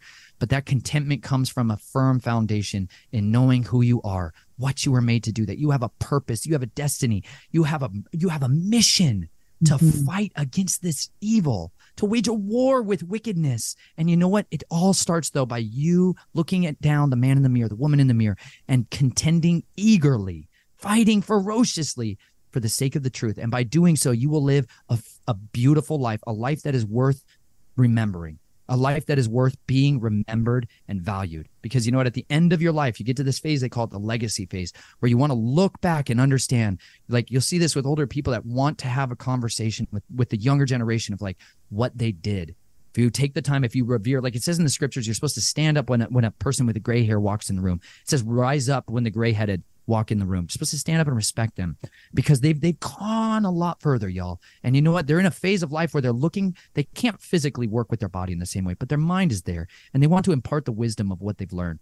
And I encourage you all, just remember there is so much pure truth that will come to you if you are willing to forsake the pride, the the the vanity and the things that have built you up for so long in your life and you can cling to a way of righteousness it is so rewarding i get to lay down and sleep in peace mm-hmm. and to me that was more that was more valuable than anything i had ever been promised in that kingdom i laid down in peace because i knew my hands weren't tainted by blood I right. knew that I hadn't corrupted anybody. I knew I hadn't coerced anybody. Like I knew I could lay in peace because I had lived an authentic day and you mm. know what? I want that for each and every one of you. I want you to be able to rest and ha- not have the enemy stealing your sleep anymore. I want you to, your family and your marriage, your relationships, your children to know life and a life that's more abundant than anything you could hope and imagine. And it comes through living authentically according to the ways that he told us to do it.